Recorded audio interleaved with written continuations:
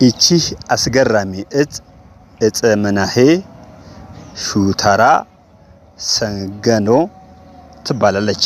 እነዚህ ሁሉ ሶስቱም ስሞች የአንዷ የዚችው እጽ ስም ነው።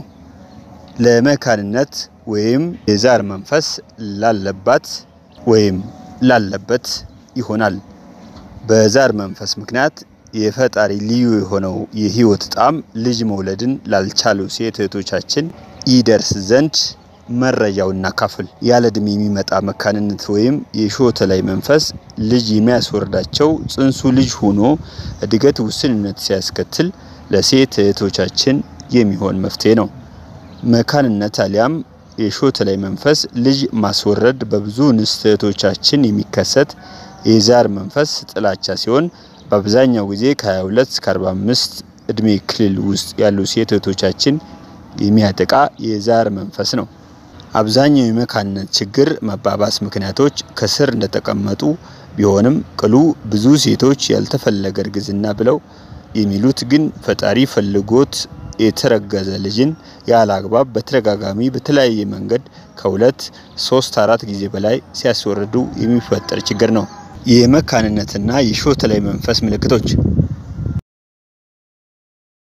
የወር አበባ መጥቆር፣ መዘግየት፣ መብዛት፣ የማህፀን ፈሳሽ መብዛት፣ የማህፀን ውስጥ እጢ፣ የሽንት ቧንቧ ኢንፌክሽን፣ ህልመ ሌሊት ወይም በህልም ከወንዶች ጋር ግንኙነት፣ በህልም የሚያንቅ የሚደፍር የዛር መንፈስ፣ ትዳር መገርገር፣ የወሲብ ጥላቻ፣ የማህፀን ጫፍ ቁስለትና እብጠት እንዲሁም ማሳከክ፣ የጭን ቁርጥማት፣ ልጅ ማስወረድ፣ ከማህፀን ውጭ እርግዝና፣ በቀኝ ወገብ የመዋጥ ስሜት፣ የወሲብ ጥላቻ፣ ከእምብርት በታች የህመም ስሜት።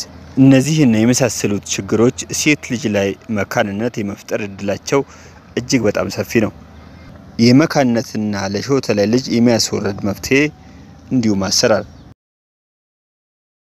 ከላይ ያያችኋት እጽ ወይም ዕፀ መናሄ ሰንገኖ ሸተራ የምትባለዋን ማለት ነው። ይህቺ እጽ በደቡብ ጋሞ፣ በወላይታ፣ በሰሜን ጎጃም፣ በሸዋ መርሃ ቤቴ አውራጃ ውስጥ በብዛት በቅላ ትገኛለች። በሰሜን ትግራይ በሽሬ አውራጃም ይገኛል። ተክሉ መጠነኛ ቁመት ያለው ዛፍ ሲሆን ቅጠሉ ወደ ባህር ዛፍ የሚሄድ አነስ ያለ ቅጠል ያለው እጽ ነው። ይህ እጽ በርካታ መፍትሄዎች የያዘ እጽ ሲሆን ለሆድ በሽታ፣ ለነቀርሳ፣ ለአስም፣ ለራስ ህመም፣ ለቆዳ በሽታ ለመሳሰሉት መፍትሄ የሚሆን እጽ ነው።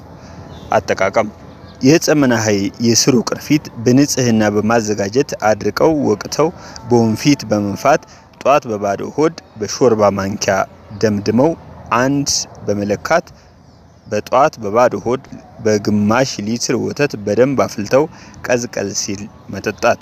ይህ ድርጊት ለሶስት ቀን ይከውኑ። ጾም እስከ ሰባት ሰዓት ከዛ ምግብ ይመገቡ።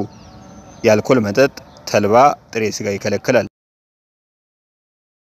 የሚቆረጥበት ቀን ማክሰኞ ጧት ፀሐይ ከመውጣቱ በፊት ነው። እሙን መፍትሄ ነው፣ ይጠቀሙበት። የቀደምት አባቶቻችን እውቀትና ጥበብ ሳይበረዝ እንደወረደ በዚህ የዩቲዩብ ቻናል ይቀርባል። የአያቶቻችን የእጽዋት ጥበብ በሕይወቶ ላይ ለሚያጋጥሙ ችግሮችና መፍትሄዎቻቸው ክፉ መናፍስትን እንዴት ማራቅ እንደምችል የብራና መጻሕፍትና ጥቅማቸው በዚህ የዩቲዩብ ቻናል ይዳሰሳሉ። ስለዚህ ውድ የኢትዮ ቲዩብ ተከታታዮች ይህንን ቻናል share በማድረግ subscribe በማድረግ ለሌሎች ማዳረሳችሁን አትርሱ። በዚህ የዩቲዩብ ቻናል ላይ ከ230 በላይ ስለ ባህላዊ መድኃኒት የሚገልጹ የተለያዩ ቪዲዮዎች አሉ። subscribe አድርጋችሁ ኮምኩሙ። ኢትዮጵያዊነት ታላቅነት